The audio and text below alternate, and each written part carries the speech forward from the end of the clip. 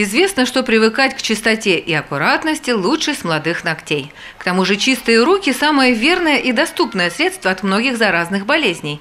Зная об этом, врачи, гигиенисты решили осенью, в канун сезонных заболеваний, побудить к творчеству школы и детсады, чтобы они не просто сами учились мыть руки, но и учили других, причем под музыку. А как вы дома руки моете? Мылом. Делаете вот эти все движения? Да. Маме? Да. Маме и папе. Да, и что, и что они сказали? Они теперь тоже так моют? Да. И они спросили, «А откуда вы умеете так мыть руки? Ну, и а ты что им сказала?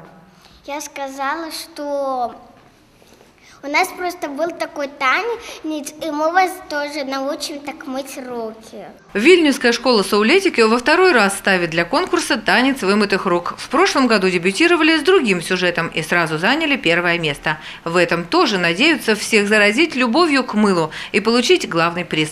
Впрочем, об этом пока думать рано. В списке участников всего два ролика, а годом раньше с танцами вымытых рук выступали почти две сотни начальных школ и детских садов. Видимо, большинство большинство отложили хореографию на неделю первых осенних каникул. Наталья Гавришова, Мартина Свицбелес, Первый Балтийский канал.